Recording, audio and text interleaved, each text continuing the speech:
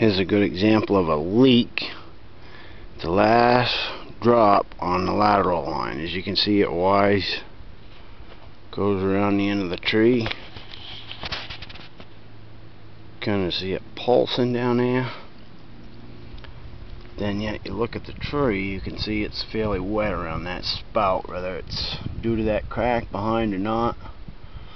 I'm positive right now, but I'm going to try to seat the uh, spout a little better if I can, but that's not helping right there. About uh, seven inches below is an old tap hole. So let's see what's going to happen here. Kind of let that sit place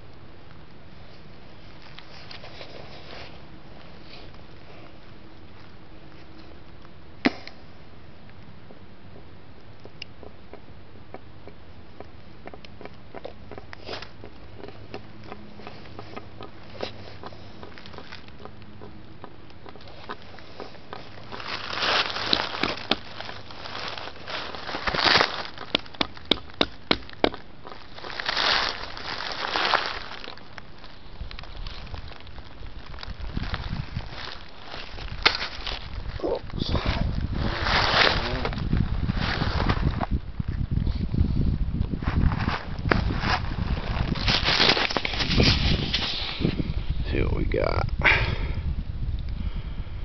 Take a second for the vacuum to equalize, get some sap in the bottom. Nope, and it's still racing right through the butt. As you can see right on the top, pretty good little crack above.